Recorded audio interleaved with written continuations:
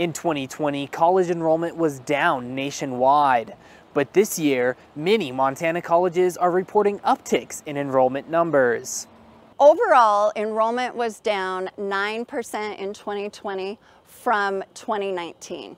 Yeah, I think as a, as a new freshman coming in, I would have been pretty apprehensive. Um, um, especially, you know, college is a big thing. It's a big step moving forward. MSU Billings fared better than most.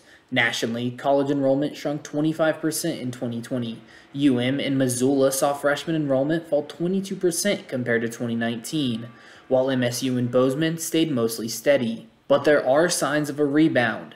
As we look at this year's numbers and the success in the various areas, the, the program enrollment and the new freshmen and transfers, overall, we're up 2.8% from 2020. Fall 2021 enrollment data from Montana State University Billings shows a 10% increase in first-time freshman enrollment from fall 2020. The main campus of Montana State University in Bozeman is reporting the largest freshman class in their history, and that's not the only number on the rise. We're also seeing an increase in our transfer students.